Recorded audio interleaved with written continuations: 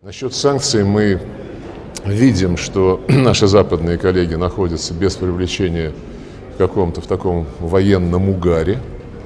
А, только об этом и говорят. Накажем, вы нападете, а мы накажем, спасем Украину.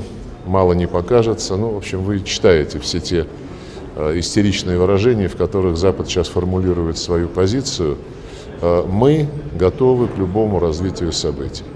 Мы ни на кого не нападали, всегда нападали на нас, и всегда те, кто это делал, получал по заслугам.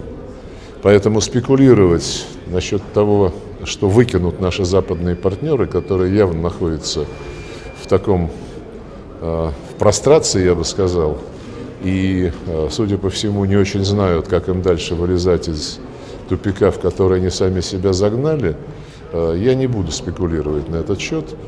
Могу только еще раз подтвердить, что мы готовы надежнейшим образом защитить интересы нашей страны, ее безопасность и безопасность наших граждан.